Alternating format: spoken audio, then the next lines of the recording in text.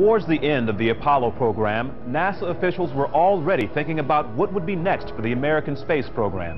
At that time, the rockets used to place astronauts and equipment into space were designed to be used only once. Although effective, NASA planners decided that they needed a system that was less expensive, reliable, and perhaps most of all, reusable.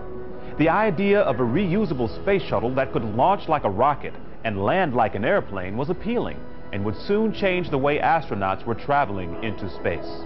The space shuttle was born on January 5, 1972, when President Richard Nixon authorized the development of reusable vehicles for space exploration. The project became known officially as the Space Transportation System, or STS. It was based on a piloted spacecraft boosted into orbit by a reusable launch vehicle that could return to Earth like an airplane, ready to be used again on short notice. This new vehicle consisted of three primary elements, a delta-winged orbiter spacecraft,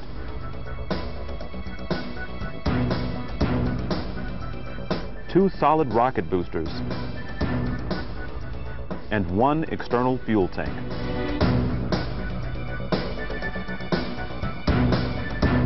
Over a 10-year span, five orbiters were built, including the test vehicle named Enterprise, and the four space orbiters, Columbia, Discovery, Atlantis, and Challenger. On April 12, 1981, after years of testing and construction, the first shuttle, Columbia, reached orbit piloted by astronauts John Young and Robert Crippen. The first four shuttle flights were collectively called the Orbital Flight Test Program and demonstrated how the spacecraft performed under real spaceflight conditions. During these first four flights, NASA tested the shuttle as a launch vehicle, habitat for crew members, freight handler, instrument platform, and aircraft. After the fourth landing, NASA declared the shuttle ready for operation. Since that time, the shuttle program has performed well over 100 missions and has accomplished a number of monumental achievements. In June 1983, Sally Ride became the first American woman in space the shuttle launched the Magellan spacecraft to Venus, the Galileo spacecraft to Jupiter, and the Ulysses spacecraft to study the Sun. The shuttle also has deployed the Hubble Space Telescope, the Gamma Ray Observatory, and the Upper Atmosphere Research Satellite. Another key milestone came in 1998 when astronaut John Glenn, the first American to orbit the Earth, returned as the oldest man ever to reach space as a member of the crew of Discovery on a nine-day mission the shuttle has also been instrumental in constructing and outfitting the International Space Station, while also being used to carry large payloads to and from orbit and perform servicing missions on satellites. The design, now approaching its third decade, is still state-of-the-art in many areas, including computerized flight control, airframe design, electrical power systems, thermal protection system, and main engines. Even though the sophisticated shuttle program suffered the devastating losses of the Columbia and the Challenger, its successful missions have made great strides in space travel and exploration during its short history.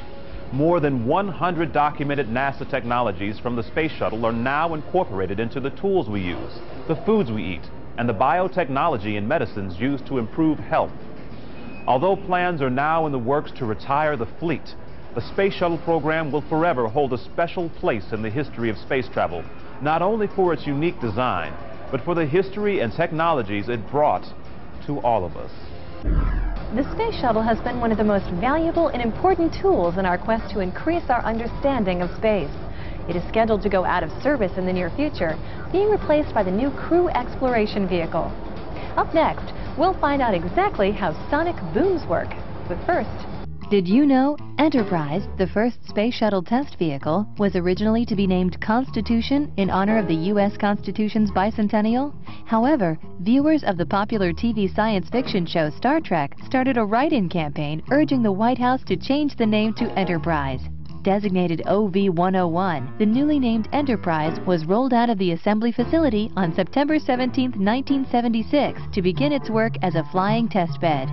Although it never flew in space, the Enterprise flew eight captive flights attached to the 747 shuttle carrier and five free flights that landed at Edwards Air Force Base. The Enterprise was enormously successful helping test and prove technologies that would be needed in future space shuttles. In November 2003, Enterprise was moved to the Smithsonian Stephen F. Udvar-Hazy Center near Washington Dulles Airport, where it is now on permanent public display.